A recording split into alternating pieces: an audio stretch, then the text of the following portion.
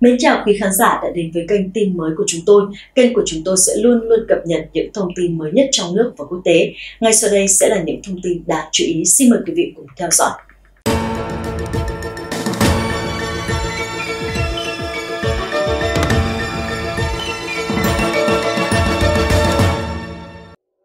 Thưa quý vị, theo trang web của Bộ Nội vụ bị ảnh hưởng bởi mưa lớn và bão, tính đến 9 giờ sáng ngày thứ năm, tổng cộng 69 người đã thiệt mạng và 21 người mất tích ở ba tỉnh Hồ Nam, Quảng Đông và Quảng Tây. Theo báo cáo của Ban Dân chính tỉnh Hồ Nam, tính đến 9 giờ sáng ngày thứ năm, thiên tai bão lũ xảy ra từ một tuần qua đã khiến 752.000 người tại 16 quận huyện Vĩnh Châu và Sâm Châu bị ảnh hưởng, 69 người thiệt mạng, 88.000 người phải sơ tán khẩn cấp, hơn 1.900 ngôi nhà bị sập và hơn 7.600 ngôi nhà bị hư hại. 305.000 hecta hoa màu bị ảnh hưởng, trong đó 52.000 hecta bị phá hủy hoàn toàn. Thiệt hại kinh tế trực tiếp là 1,44 tỷ nhân dân tệ. Sau trận thiên tai này, hứa thủ sinh bí thư tỉnh ủy đã ra chỉ thị yêu cầu các ban ngành liên quan của tỉnh nỗ lực hết sức để chống lũ lụt và cứu trợ những người bị nạn.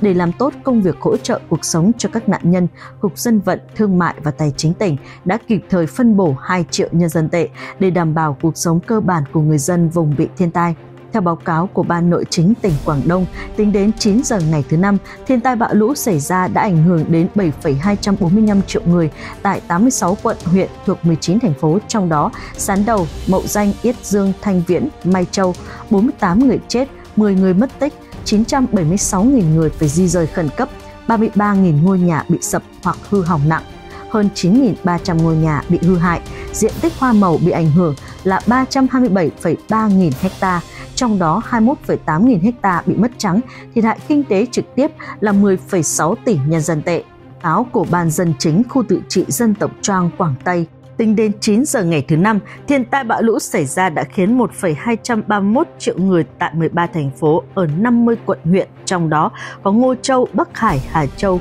Ngọc Lâm và Tần Châu bị ảnh hưởng, 12 người chết và 113.000 người được di chuyển khẩn cấp, gần 6.800 ngôi nhà bị sập hoặc hư hỏng nghiêm trọng. Khu vực bị ảnh hưởng của trồng trọt là 39.900 ha, trong đó 34.000 ha bị phá hủy, thiệt hại kinh tế trực tiếp là 460 triệu nhân dân tệ. Thưa quý vị, mưa lớn liên tục ở Phúc Kiến cũng đã khiến 15 người thiệt mạng, thiệt hại trực tiếp hơn 200 triệu nhân dân tệ. Từ 3 ngày qua, khu vực miền Trung và miền Bắc tỉnh Phúc Kiến xảy ra mưa lớn diện rộng, khiến hơn 180.000 người ở tỉnh Phúc Kiến bị ảnh hưởng, 15 người chết, 2 người mất tích và 22.200 người phải chuyển nhà. Do chịu ảnh hưởng kết hợp của không khí lạnh và ấm, từ 3 ngày qua, khu vực miền Trung và miền Bắc tỉnh Phúc Kiến có mưa rào diện rộng, mưa xối xả cục bộ, do hứng chịu lượng mưa lớn Thiểm Tây, Hữu Tích, Phúc Đồn và Mai Tây, các nhánh của sông Mân Giang đã trải qua lũ lụt với mực nước vượt cảnh báo và lũ lụt với mực nước siêu cảnh báo đã xảy ra ở Đại Trương Tây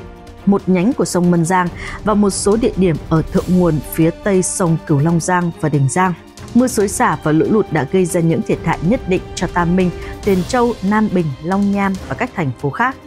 Theo thống kê lúc 17 giờ ngày thứ hai, tổng cộng 186.400 người tại 19 huyện của tỉnh Phúc Kiến gồm Tam Minh, Tuyển Châu, Nam Bình và Long Nham đã bị ảnh hưởng bởi thiên tai, 420 ngôi nhà bị sập, 15 người chết ở Vĩnh Xuân do nhà kho bị sập và hai người mất tích. 22.200 người phải di rời, 12,69 nghìn hecta cây trồng bị ảnh hưởng bởi thiên tai, 64 doanh nghiệp công nghiệp và khai thác mỏ bị đình chỉ hoạt động, 22,56 km bờ bao bị hư hỏng, 4,03 km đê bị vỡ, 60 cống, trạm bơm điện, trạm thủy điện, trạm thủy văn bị hư hại, 94 hồ đập bị phá hủy, tổng thiệt hại kinh tế trực tiếp là 242 triệu nhân dân tệ. Trong đó thiệt hại kinh tế trực tiếp đối với các công trình thủy lợi là 87 triệu nhân dân tệ. Theo Cục Khí tượng Trung Quốc, do ảnh hưởng chung của không khí lạnh và ấm trong 3 ngày tới ở miền Trung và miền Đông cao nguyên Thanh Hải, Tây Tạng, miền Đông Tây Bắc Trung Quốc, Hoàng Hoài, Giang Hoài sẽ có mưa hoặc mưa rào vừa phải.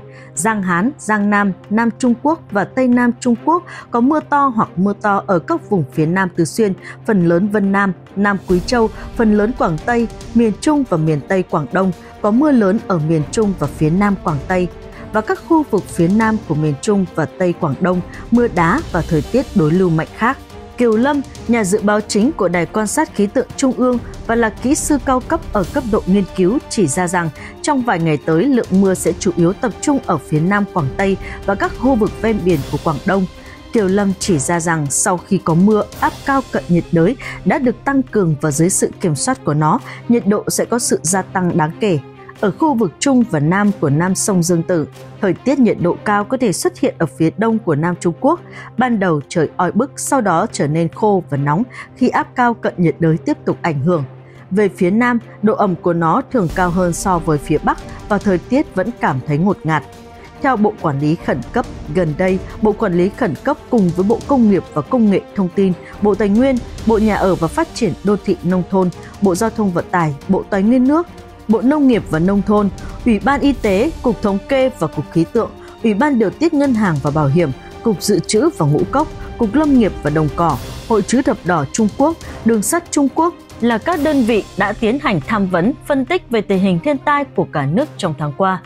Trong tháng qua, thiên tai ở Trung Quốc chủ yếu là lũ lụt, mưa đá, thiên tai địa chất, hạn hán, nhiệt độ đóng băng, động đất, cháy rừng cũng xảy ra với ở các mức độ khác nhau. Tổng cộng có 5,999 triệu người bị ảnh hưởng bởi các thiên tai. 149 người chết và mất tích do thiên tai, 92.000 người phải di rời khẩn cấp, hơn 1.000 ngôi nhà bị sập, hơn 1.700 ngôi nhà bị hư hỏng nặng và hơn 9.700 ngôi nhà bị hư hỏng nhẹ. Diện tích cây trồng bị ảnh hưởng là 552,5 nghìn hecta, thiệt hại kinh tế trực tiếp là 7,76 tỷ nhân dân tệ. Đặc điểm chính của các đợt thiên tai trên phạm vi cả nước trong tháng qua như sau. Nam Bộ chịu mưa lớn, lũ cục bộ, thiên tai địa chất, trong tháng qua, lượng mưa toàn quốc là 168 mm, về cơ bản giống với cùng kỳ những năm trước, nhiều hơn ở Tây Nam Trung Quốc và Nam Trung Quốc, nhưng ít hơn ở hầu hết phía Bắc. Nam Bộ xuất hiện 4 đợt mưa lớn diện rộng. Trong đó, khu vực phía Nam xảy ra quá trình mưa lớn nhất kể từ đầu năm nay, phạm vi ảnh hưởng rộng, thời gian kéo dài, lượng mưa tích lũy lớn, mưa cục bộ mạnh đến 1,05 triệu người tại 8 tỉnh và khu tự trị bị ảnh hưởng. 310.000 người phải sơ tán khẩn cấp, hơn 200 ngôi nhà bị sập và thiệt hại kinh tế trực tiếp là 1,6 tỷ nhân dân tệ. Vào cuối tháng qua, lượng mưa lớn đã gây ra lũ lụt ở Vân Sơn, Khúc Kinh và những nơi khác ở Vân Nam, khiến 19 người thiệt mạng và mất tích. Nhìn chung, lũ lụt trong tháng vừa qua đã khiến 2,52 triệu người ở 15 tỉnh, khu tự trị bị ảnh hưởng, 30 người chết và mất tích, hơn 1.000 ngôi nhà bị sập, thiệt hại kinh tế trực tiếp là 5,09 tỷ nhân dân tệ. So với bình quân cùng kỳ 5 năm gần đây, số người bị ảnh hưởng thiên tai, số người chết và mất tích do thiên tai, số nhà sập giảm dần lần lượt là 14%, 52% và 71% tương ứng và thiệt hại kinh tế trực tiếp tăng 35%. Ngoài ra, lượng mưa lớn đã gây ra các thảm họa địa chất như sạt lở đất cục bộ, sạt lở đất và lở đất chủ yếu tập trung ở phía Tây Nam, Trung Nam và Đông Trung Quốc. Các quá trình thời tiết đối lưu nghiêm trọng, tương đối hiếm và xét đánh ở Tứ Xuyên, Thanh Hải và những nơi khác đã gây ra thương vong rất nặng. Trong tháng qua, trên cả nước xuất hiện 4 quá trình thời tiết đối lưu mạnh, số lượng ít hơn so với cùng kỳ 5 năm qua và cùng kỳ năm trước. Xét về phạm vi ảnh hưởng, khu vực phía Bắc chủ yếu tập trung ở Đông Bắc và Tây Bắc, khu vực phía Nam tập trung ở vùng núi phía Tây Nam Tứ Xuyên, Quý Châu và Vân Nam. Về thiệt hại do thiên tai, chủ yếu tập trung vào thiệt hại về nông nghiệp và lâm nghiệp, rông bão cục bộ, gió mạnh và mưa đá ở Cam Túc, Thiểm Tây, Quý Châu và Vân Nam đã gây thiệt hại cho một số khu rừng thương mại và cây ăn quả, đồng thời làm hư hỏng nhà kính nông nghiệp, xét đánh ở Tứ Xuyên, Thanh Hải và những nơi khác khiến 24 người thiệt mạng Nhìn chung, thảm họa gió và mưa đá trong tháng qua đã gây ra 1,11 triệu người bị ảnh hưởng tại 16 tỉnh bao gồm Cam Túc, Thiểm Tây và Vân Nam, 28 người chết do thiên tai. 155.000 hecta hoa màu bị ảnh hưởng và thiệt hại kinh tế trực tiếp là 1,8 tỷ nhân dân tệ. Ngoài ra, hạn hán cục bộ ở Bắc Trung Quốc, Hoàng Hoài và Đông Bắc Trung Quốc vẫn tiếp diễn, ảnh hưởng hạn chế đến sản xuất nông nghiệp. Tháng vừa qua, khu vực phía Tây Nam có nhiều trận mưa, hạn hán trước đó ở Tứ Xuyên, Vân Nam và những nơi khác về cơ bản đã được dỡ bỏ.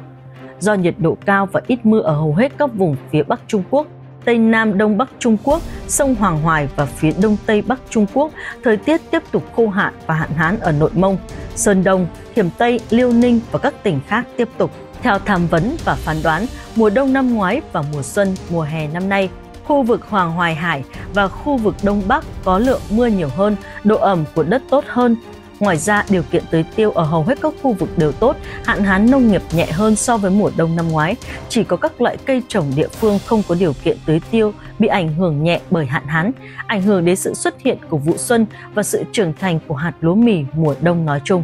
nhiệt độ thấp và thiên tai đóng băng đã ảnh hưởng đến các khu vực Tây Bắc và Tây Nam, số vụ cháy rừng và đồng cỏ đã giảm. Trong tháng qua, có hai đợt không khí lạnh tác động chủ yếu đến khu vực Tây Bắc và Tây Nam Bộ. Trong đó, quá trình đợt lạnh trong hai ngày đầu tháng phạm vi ảnh hưởng rộng, nhiệt độ giảm sâu, nhiệt độ giảm tối đa ở hầu hết các khu vực Đông Bắc Trung Quốc, Hoa Bắc, phía Tây Đông Bắc Trung Quốc, Hà Nam, Sơn Đông, những nơi khác trên 8 độ C. Từ giữa tháng Cam Túc, Thiểm Tây và Tứ Xuyên đã trải qua quá trình không khí lạnh trên diện rộng, một số cây trồng kinh tế và cây ăn quả lâm nghiệp bị sương giá, gây thiệt hại kinh tế trực tiếp gần 300 triệu nhân dân tệ.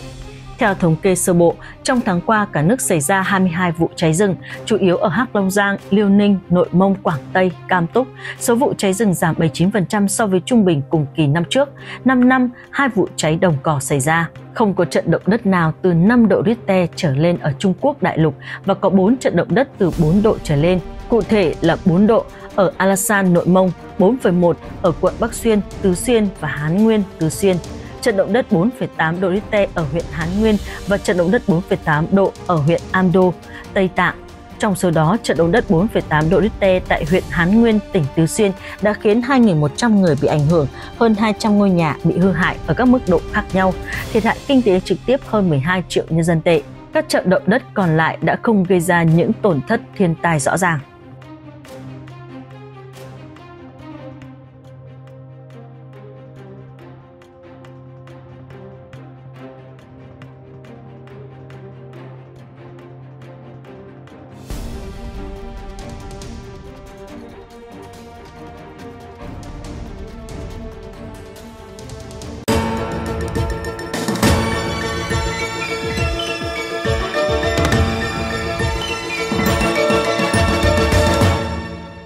Vừa rồi là những thông tin cuối trong bản tin ngày hôm nay. Cảm ơn quý vị và các bạn đã quan tâm theo dõi. Xin chào và hẹn gặp lại.